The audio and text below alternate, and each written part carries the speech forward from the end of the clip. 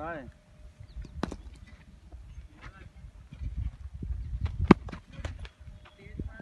Side में stick रखना, ऊपर के नीचे से जाएगा तो ऊपर हाथ आ जाएगा जरा।